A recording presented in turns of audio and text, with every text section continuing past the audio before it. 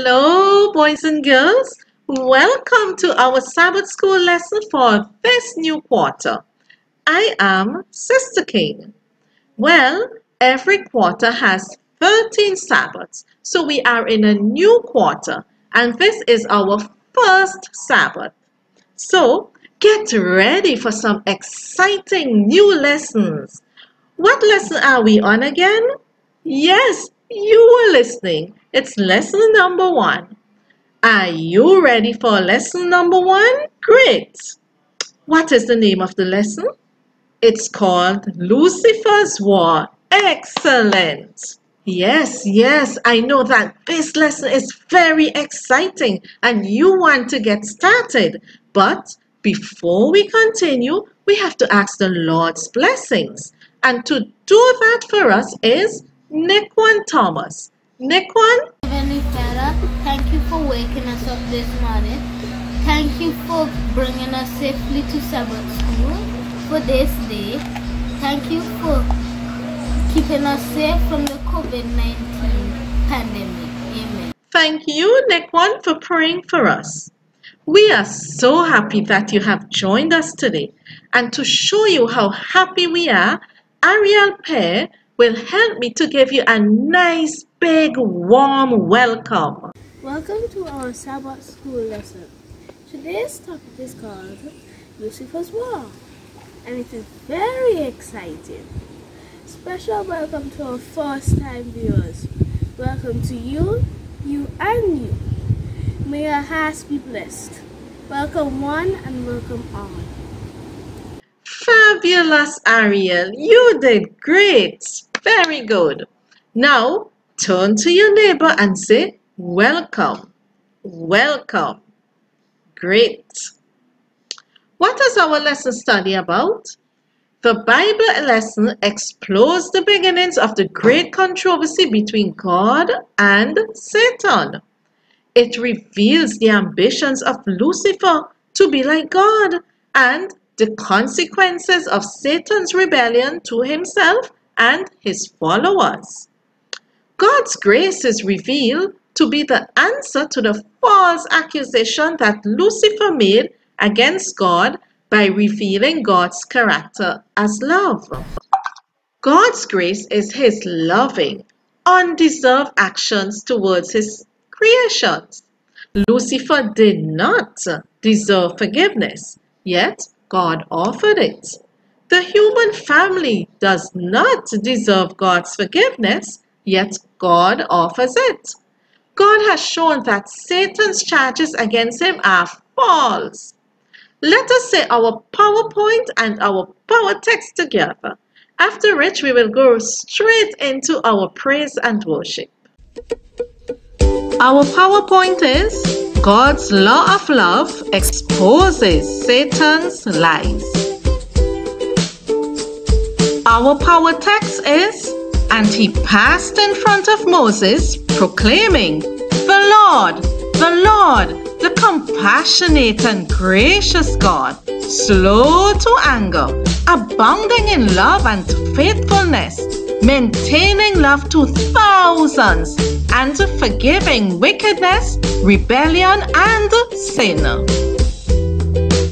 Yet he does not leave the guilty unpunished. He punishes the children and their children for the sin of the parents to the third and fourth generation. Exodus 34 6 and 7. It's praise time. Let us now sing to the glory of God.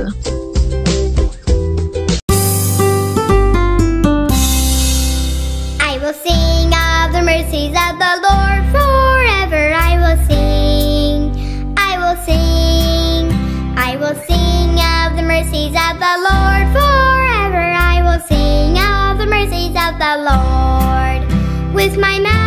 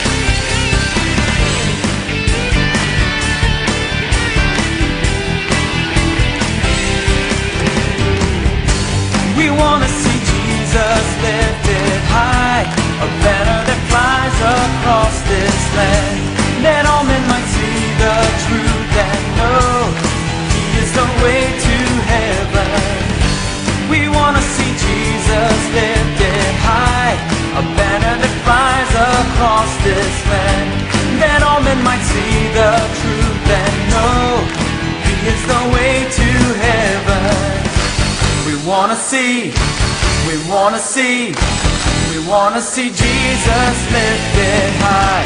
We wanna see, we wanna see, we wanna see Jesus lifted high.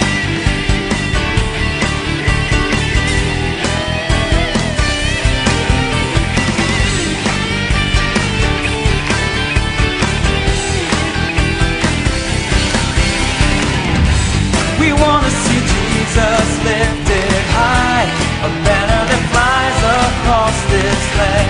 that all men might see the truth and know He is the way to heaven. We wanna see Jesus lifted high, a banner that flies across this land, that all men might see the truth and know He is the way to heaven. We wanna see, we wanna see, we wanna see Jesus lifted high. We wanna see, we wanna see, we wanna see Jesus lifted high. Step by step we're moving forward, little by little taking ground. Every prayer a powerful weapon, strongholds come tumbling down and down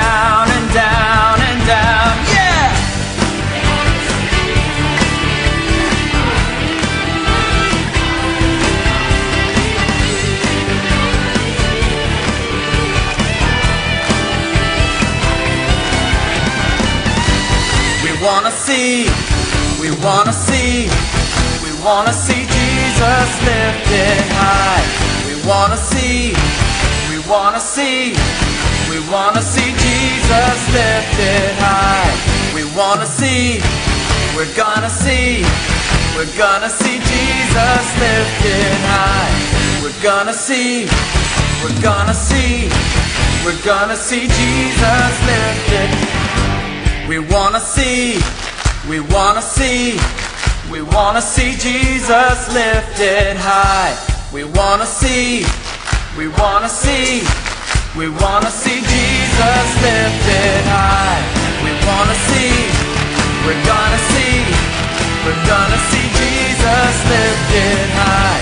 We're gonna see, we're gonna see, we're gonna see Jesus lifted high. How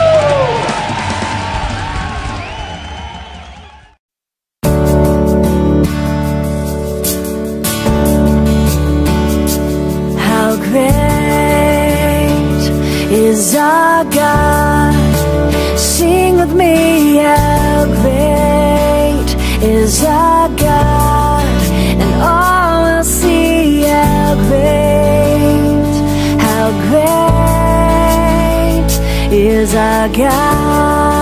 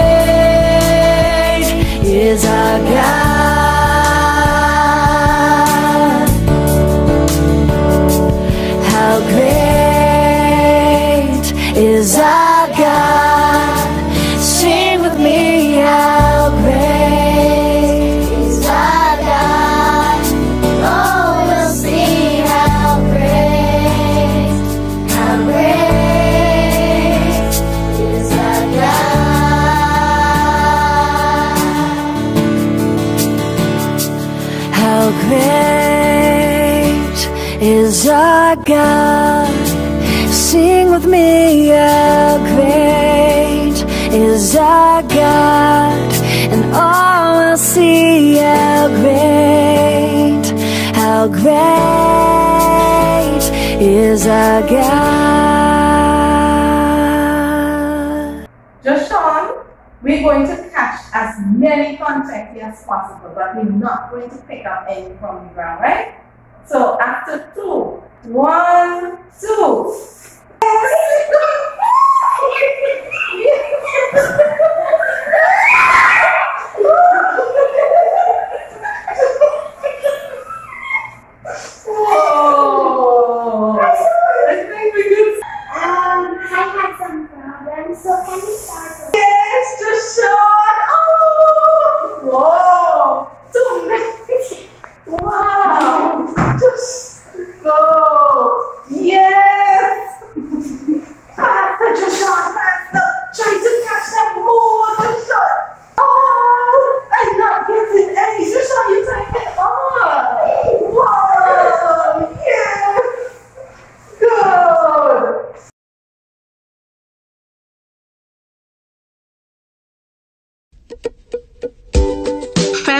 The wind.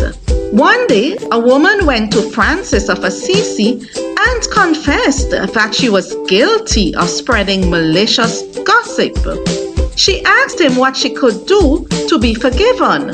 Francis told her to pluck a goose and lay one feather on the doorstep of each person she said malicious things about. The woman went away hurriedly and did as she was instructed. She returned to Francis to ask the next step. He sent her back to gather each feather that she had placed on the doorsteps. But to her horror, she discovered that the feathers had blown all over town. When she returned the second time, Francis said, You may wish to repent, and that is good, but you can never recall the words that you have spoken. They have gone on their way doing harm. You have committed a sin for which no amends can be made. Confess your sins to God and ask for His forgiveness, for God is the only one who can forgive you. That story was from the Ten Commandments Learn a Book Affirm series. Now, how do you think we felt trying to catch the confetti before they hit the ground? How do you think we felt when so much was remaining on the ground? What does this story remind you of? Yes, Satan's sin and Adam and Eve's sin. And we did feel sad not catching enough of. Although God can forgive, what can He not do? You are correct. Change the consequences. What does He do instead? Yes, He offers His grace and redemption through the life and death of His Son. Now, let us say our power text, Exodus 34 6 and 7 together. And he passed in front of Moses, proclaiming, The Lord, the Lord, the compassionate and gracious God, slow to anger, abounding in love and faithfulness, maintaining love to thousands, and forgiving wickedness, rebellion, and sin. Yet he does not leave the guilty unpunished.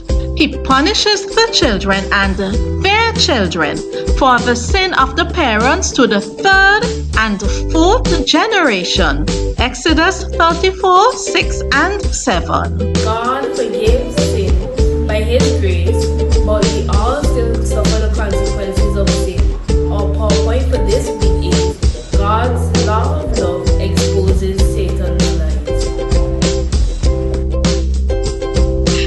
mission story time. Do you have your mission offering? Remember, our offerings support the work of God around the world and help tell others the story of God's grace to each of us.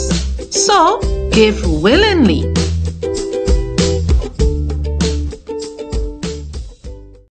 From remote tropical islands to the bustling cities of Sydney and Auckland, from thick jungles to traffic jammed streets, Amidst rugged mountains and white sandy beaches, this is the South Pacific Division. This beautiful and vast territory encompasses a variety of people groups and terrain that makes mission work in the region both a challenge and an incredible opportunity. God is doing amazing things in this region of 40 million people. The Adventist Church here counts a membership of more than 500,000 people who worship on Sabbaths in nearly 2,000 churches. More than 80% of the membership lives in Papua New Guinea and the Pacific Islands.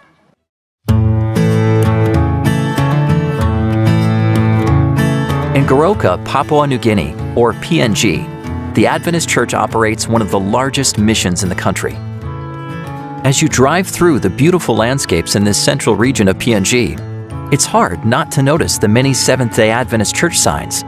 Adventists here work hard to grow God's kingdom. Today, some nearby church members gather to celebrate the Sabbath with enthusiasm. They sing joyously in praise and worship.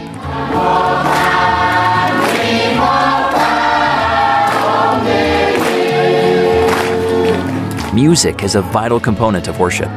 Here, many groups and choirs sing songs to prepare the Spirit for the preaching of God's Word.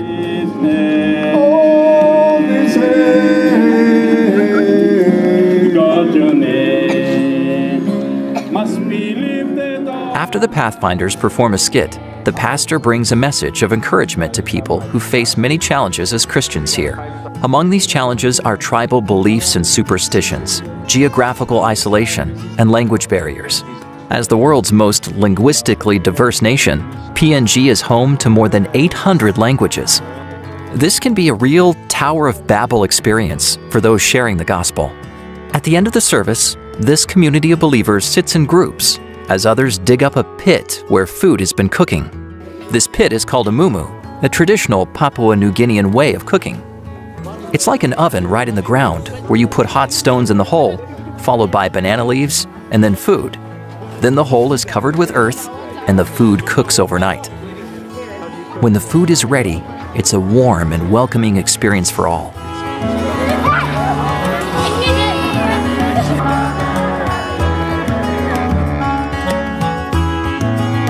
In the afternoon, many churches in this area host programs. This lively all day event makes Sabbath a day that the children and adults look forward to. The growth the Adventist Church has experienced in the South Pacific goes back to humble beginnings. In 1891, Seventh day Adventist Church co founder Ellen G. White arrived in the South Pacific, virtually pioneering the work here. In the home she named Sunnyside in Cooranbong, Australia, she performed her dual ministry of missionary and writer. Her work in this region built a foundation for the church's early efforts in the South Pacific. Today, the Adventist Church carries on the early missionaries' legacy as it continues to spread the gospel throughout the region. Although there has been significant growth, there are still unreached people groups in hard to reach places. Please pray for the missionaries who sacrifice much to serve in the South Pacific Division.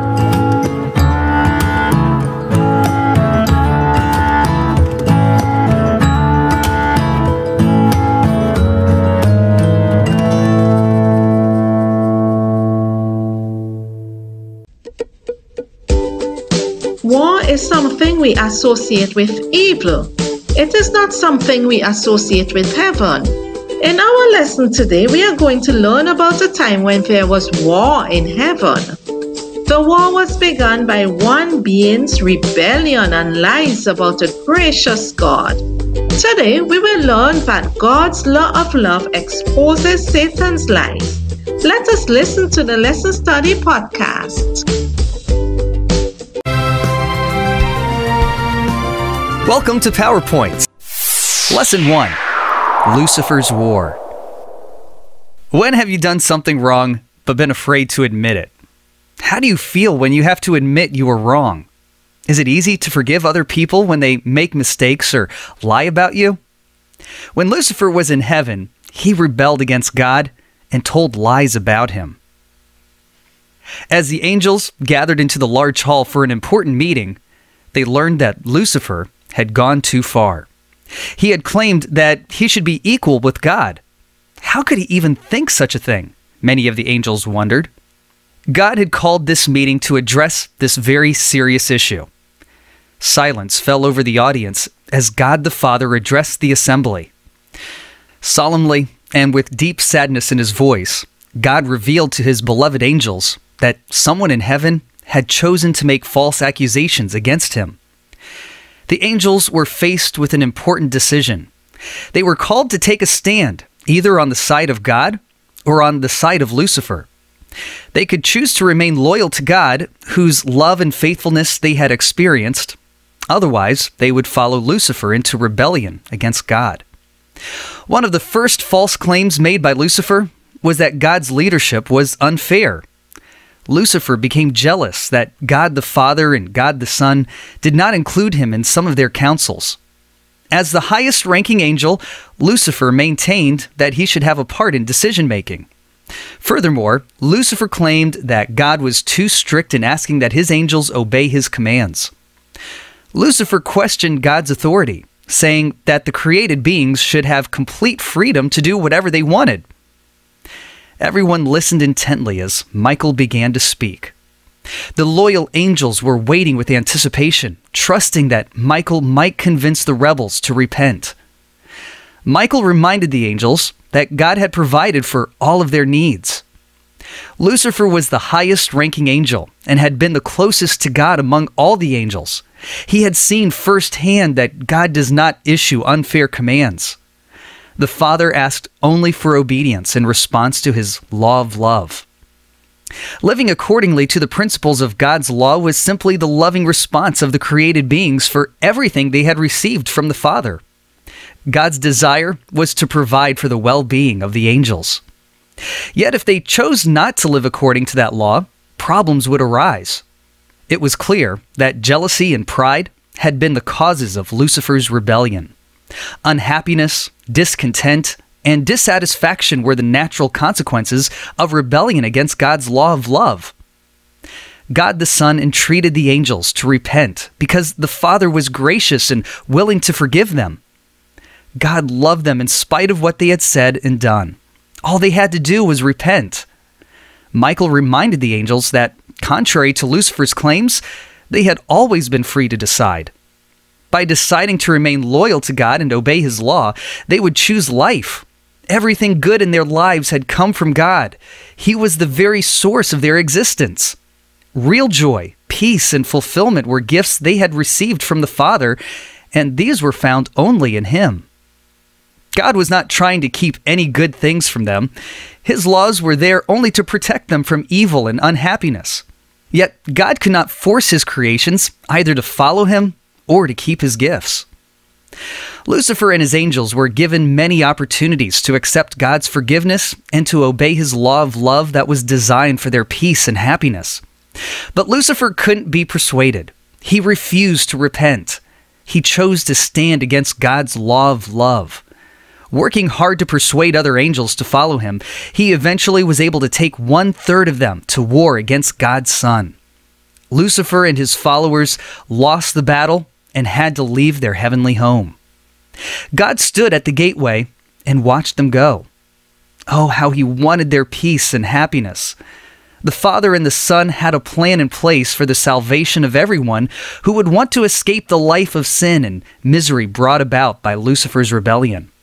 God was willing to pay the greatest price to make sure that no one else would follow Lucifer into rebellion.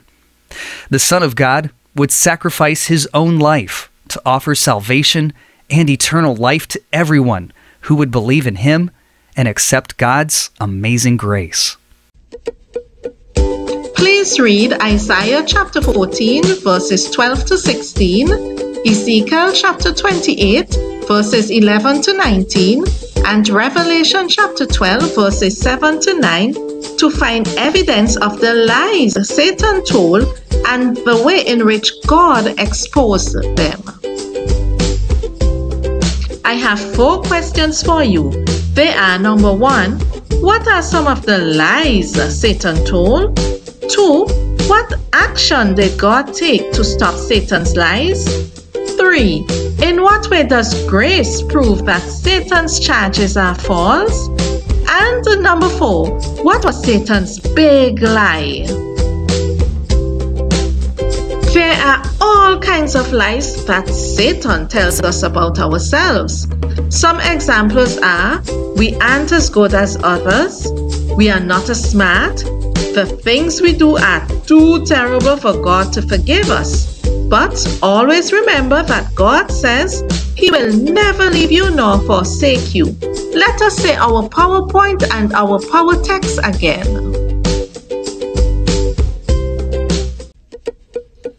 Our PowerPoint is God's law of love exposes Satan's lies. Our power text is And he passed in front of Moses, proclaiming, Lord, the Lord, the compassionate and gracious God, slow to anger, abounding in love and faithfulness, maintaining love to thousands, and forgiving wickedness, rebellion, and sin. Yet he does not leave the guilty unpunished. He punishes the children and their children for the sin of the parents to the third and fourth generation. Exodus 34 6 and 7. I would like you to place some beans in a jar filled with cotton balls and sprinkled with water. Moisten the cotton every day until the bean begins to sprout. Then show your sprouted bean to someone and explain how God's grace can take something dry and hard and turn it into something alive, green, and growing. In the same way, He can take the sin and evil that have resulted from Satan's rebellion and lies, and through His forgiveness and grace, bring new life into the hearts and lives of anyone who will accept Him. Well, juniors, we are at the end of our Sabbath school lesson for this week. I had a fun time. How about you? Let us recap.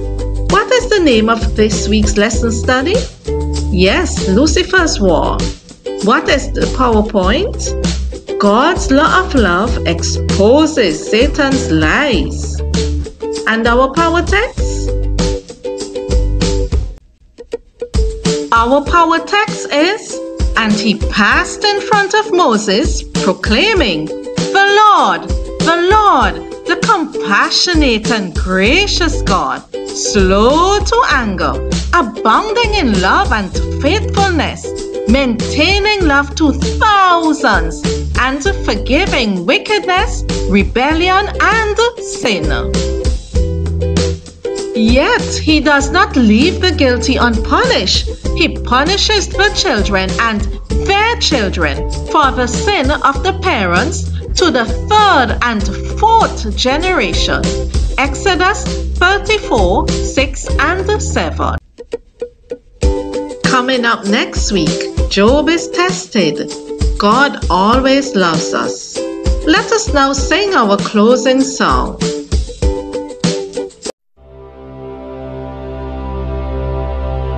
For he has shown thee, O man, what is good and his right plan.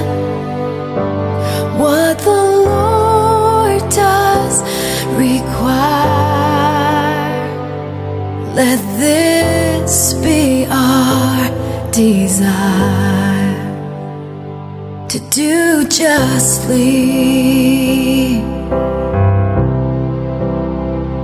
to love mercy,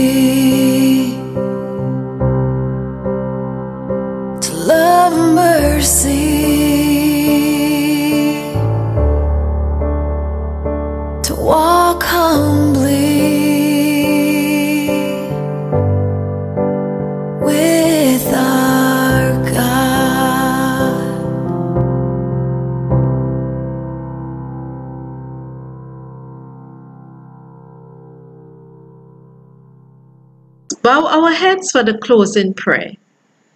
Dear loving Lord, we thank you for being such a kind and compassionate Father towards us, being so slow to anger and forgiving us of our sins. Dear Lord, I thank you for loving us and being so faithful towards us. Please be with every boy and girl bowing before you.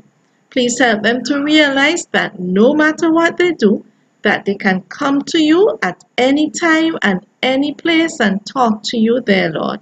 Thank you for your grace.